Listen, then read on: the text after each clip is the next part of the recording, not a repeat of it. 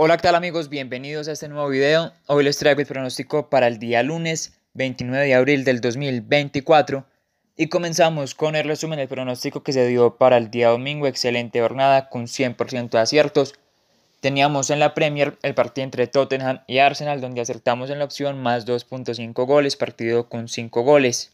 Después en Francia teníamos el partido entre Estrasburgo y Niza partido donde también teníamos la opción más 2.5 anotaciones, partido con 4 goles, acertamos.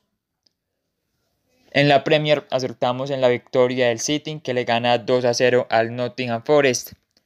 Y en Francia en el partido entre Lyon y Mónaco acertamos en la opción anotan gol en el primer tiempo. Anotan gol a los minutos 22 y 26, así que acertamos también en este partido cerrando de esta manera el día domingo con 100% de aciertos y conociendo la manera en que trabajamos, siempre con el mejor análisis, con las mejores estadísticas y conociendo también los resultados que obtenemos, los invito a que se unan al canal VIP de Telegram.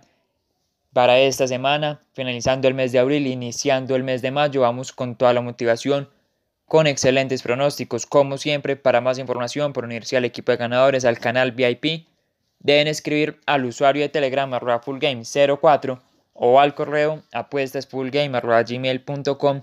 Por estos medios se les dará toda la información. También por WhatsApp se les pueden enviar estos pronósticos. El número de WhatsApp se les pasa por el correo. Y comenzamos con los pronósticos para este día lunes con la tercera división francesa con el partido entre Nimes y Red Star con la opción menos 3.5 goles o menos 2.5 goles para una cuota más alta.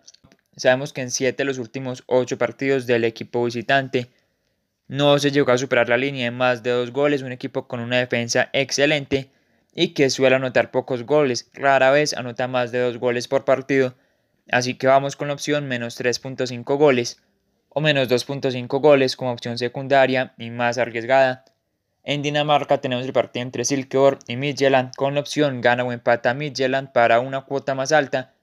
Apuestas en empate a favor de Midtjylland, tercero en la tabla de posiciones. Equipo que está en la lucha por el título, tiene un partido menos que el resto de equipos. Debe salir a buscar la victoria y se enfrenta al equipo de Silkeborg.